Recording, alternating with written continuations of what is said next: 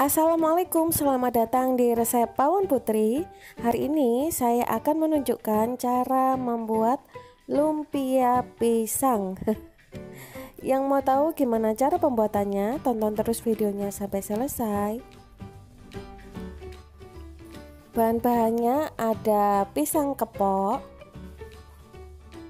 kemudian ada kulit lumpia, ini saya bikin sendiri ada di video saya sebelumnya kalau nggak sempat bikinnya bisa juga beli jadi yang ada di pasar. Ini terigu nanti akan saya encerkan. Untuk toppingnya bisa disesuaikan dengan selera masing-masing. Kebetulan di kulkas saya adanya ini uh, aneka selai dan juga keju.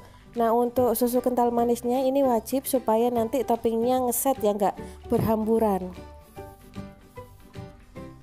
Pertama-tama saya akan potong pisangnya menjadi empat bagian karena saya mau bikin lumpia pisang yang mungil dan panjang kayak stick gitu ya. Kemudian tepung terigunya diberi sedikit air agak agak kental gitu ya. Ini nanti fungsinya untuk merekatkan kulit lumpianya.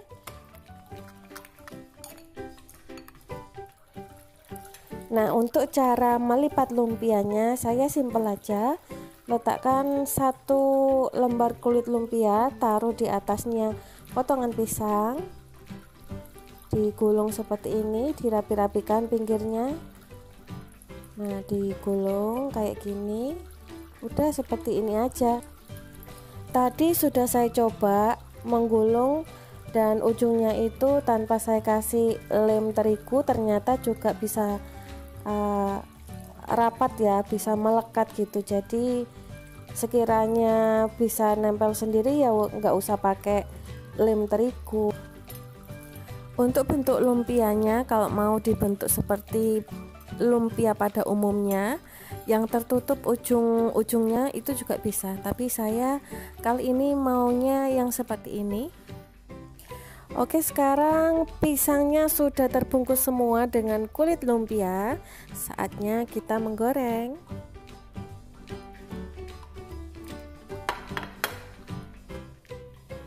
Saya akan cemplungkan satu persatu lumpia pisangnya.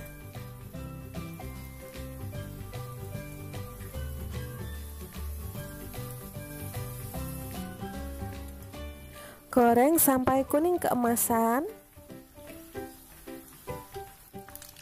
Kemudian angkat dan tiriskan.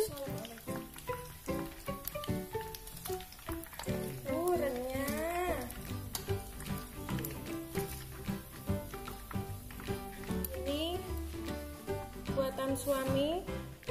Nama makanannya ini lumpia pisang yang tak direstui mama. Mungkin apa dikai coklat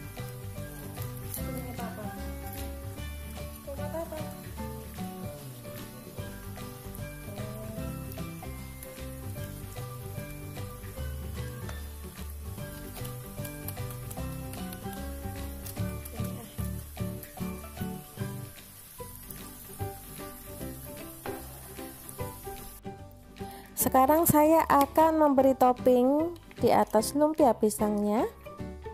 Ini caranya suka-suka ya.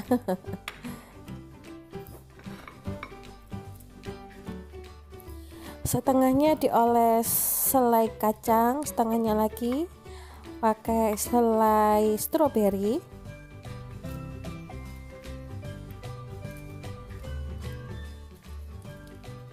Kemudian taburi dengan parutan keju.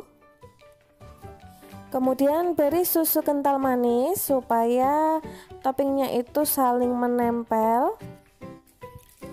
Kemudian biar tahu kalau ini rasa stroberi, jadi saya tambahkan lagi di atasnya selai stroberi dan juga kacang.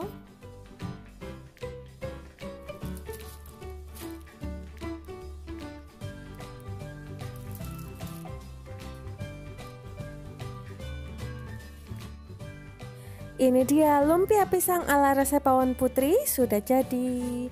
mantap banget ya hasilnya cantik. Hasil gorengannya renyah. Enak gurih manis pisangnya. Mudah sekali membuatnya dan wajib dicoba di rumah. Terima kasih sudah menonton resep pawon putri hari ini. Jangan lupa like, comment, share, dan subscribe. Terima kasih sekarang waktunya icip icip. Uh. mantap banget. Ntar sih iku kotakane iso dilempit no enggak